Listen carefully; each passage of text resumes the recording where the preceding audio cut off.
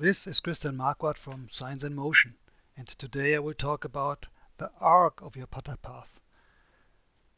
It is often claimed that the putter path should have a natural arc, but this claim can also be misguiding as the definition of the path arc needs to be understood correctly. Normally path arc describes the curvature of the path in a player's top view against the target line. And in fact, if we look at this tour player's putting stroke, then we see a curvature. And if we calculate the curvature at impact, we get a number of 14.4 degrees per meter curvature.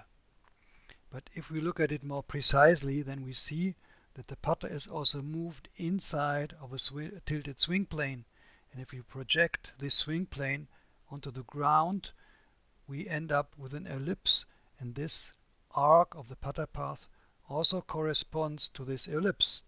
So if we look now at exactly the same putting stroke from the tour player in the top view in the SAM PuttLab 3D module, then we see the same arc in the top view, but by tilting it into the swing plane, we see that all of a sudden this arc is gone and the path is almost dead square from inside of the swing plane. So this means that the path arc against the target line can be simply a consequence of the view angle.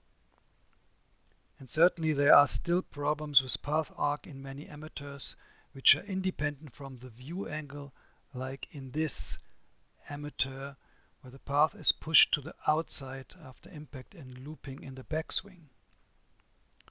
But in consequence, you should not introduce additional arc into your path. Instead, you should swing the putter neutrally inside of your swing plane and as a result you will see some curvature against the target line, but this is limited and this will then depend on the tilt of your swing plane only. If you want to improve your path and your arc, then you might use some training tools like the putting arc or the true plane or the perfect stroke tool from Mark Officer.